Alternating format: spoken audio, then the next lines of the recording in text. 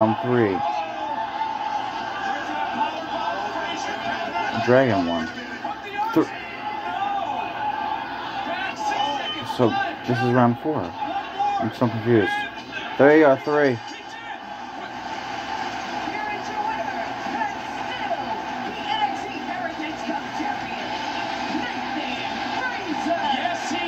There you go. Nathan has retained second left. Hell of a job by our officiating crew here at NXT. That was nail-biting.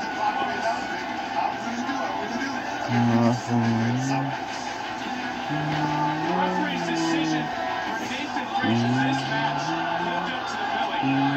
Right here able to secure the first fall.